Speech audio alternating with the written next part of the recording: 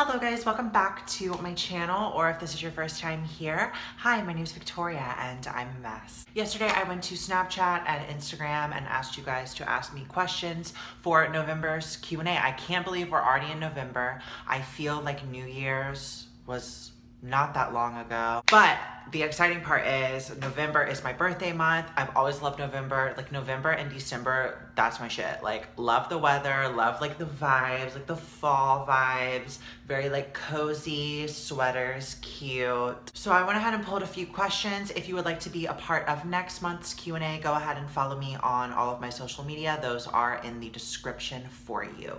Someone wants to know, how do you feel about paranormal stuff? I don't really believe in it. I don't believe in like a god or a god or any kind of religious thing.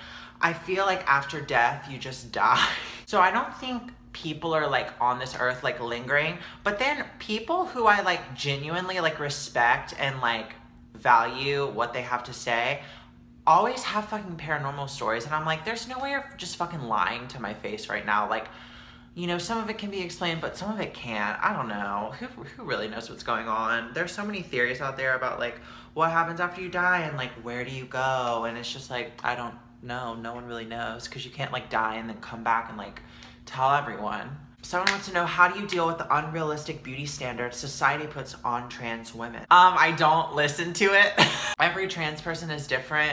Um, I think the mold and the pressure that society puts on trans women, most of them, that's what they want. So it doesn't seem like a lot of pressure and like the majority of trans girls enjoy being like really feminine.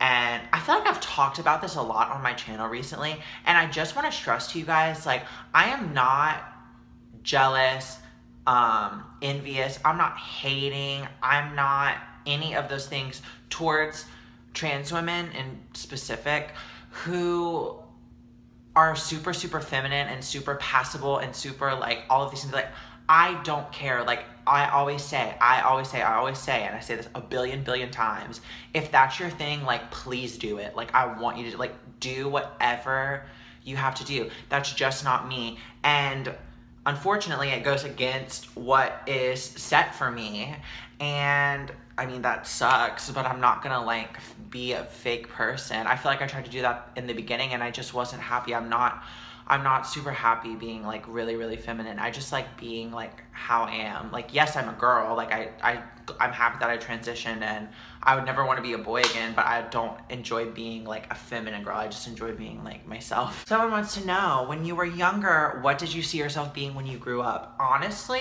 I thought like something in entertainment. Like I really was obsessed with game shows when I was younger. I would always watch the Game Show Network and I was obsessed with like that kind of stuff. So I was like, you know, maybe one day I'll be like a game show host. Or I was always obsessed with just being like not even famous. I feel like when I was really young, I was like, yeah, I want to be a superstar, da da da da.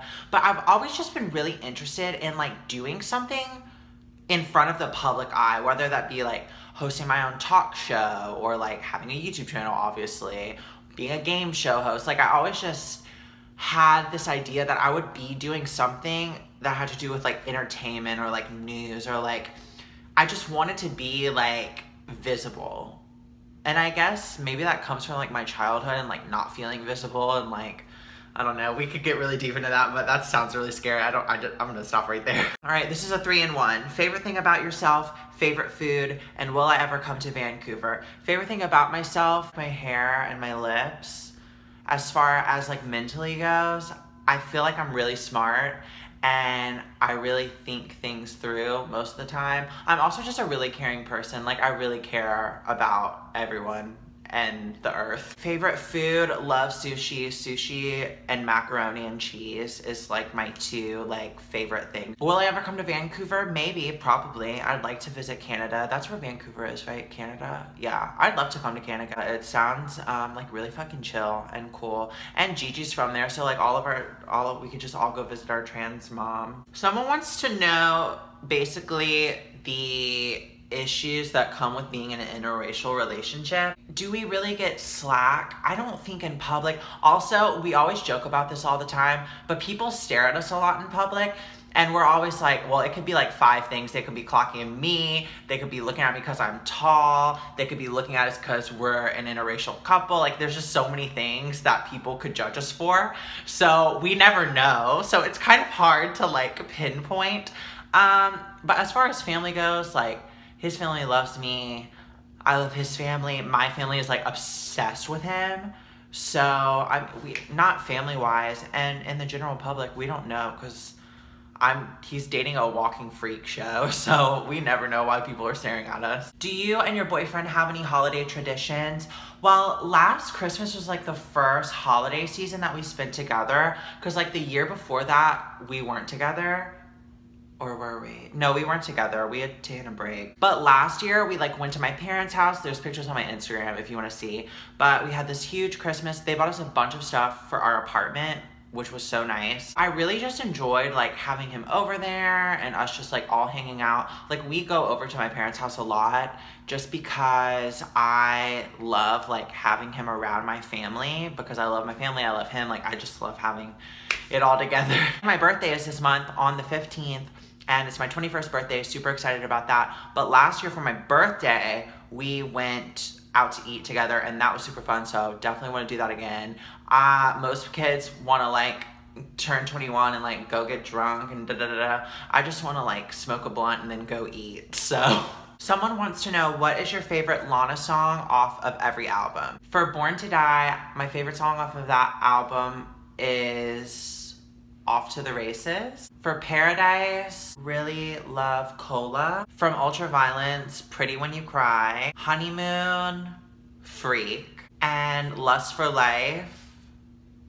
Cherry. God, ugh, that just gave me chills all of those albums are so good and those are like my first favorites that come to mind i promise like i love almost every song on those albums and if i sat down my answers would probably change but that's the first thing that comes to my brain and i'm going to see her in february so i'm super excited um, she's like my favorite artist she's gotten me through so much stuff and i feel like every trans girl is like lana's my idol but like I mean, I can't help it. Even if it's a stereotype, Lana Del Rey, like, her music, I don't know, just speaks to me. I don't know. I don't know what it is. And last question, someone wants to know what would I be doing if I wasn't doing YouTube? Probably, honestly, dead. Before I started doing YouTube, I was so depressed. Like, I'm still depressed, but way more than I am now. YouTube's definitely given me something to fucking do. Like, in my spare time, I'm always thinking of new ideas, filming, editing, putting art together, all that kind of stuff. I love interacting with you guys. And also I feel like it just gives me a purpose. It gives me like purpose that I know that every video I put out is like making someone's day better or helping someone. That is so important to me. And back to what I thought I was gonna be when I got older is always been entertaining people. So the fact that I can do that is really cool. And I feel like if I wasn't doing YouTube, I would be like trying to do YouTube. Like YouTube is just like my thing. Thank you guys so much for watching this video. I'm gonna be trying to upload a lot this month because I really love November. I kind of want to do a video every day. Don't quote me on it because every time I make a promise, I never come through, but I really am gonna try to do a video every day. So stay tuned for that. Subscribe and hit the notification bell. That way you won't miss any of them. Like I said, all of my social media in the description, especially Instagram. Love following and looking through you guys' pictures on there, talking to you guys, Snapchat too, love Snapchat. Twitter's like kind of its own island. Like I don't really get on Twitter, I just retweet a lot of things. So if you like funny stuff, follow me on Twitter. But Snapchat is the best way if you want to talk to me. Like, if you want me to fucking message you, message me on Snapchat because it's so hard for me to open a message and not reply. I feel like that's so rude. And I do it sometimes, but I will most likely reply on Snapchat. So I love you guys so much. I'll see you in the next video. Bye.